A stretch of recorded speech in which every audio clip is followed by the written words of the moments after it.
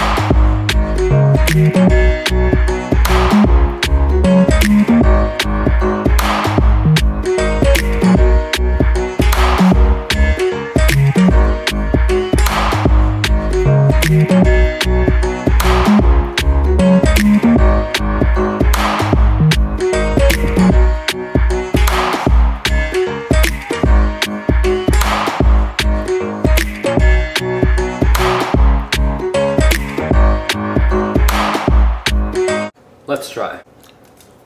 Mmm, good flavor. Buttery. I can taste Tibet. Please subscribe. Shout out to Exotic Meat Market for providing us with this lovely cut of meat.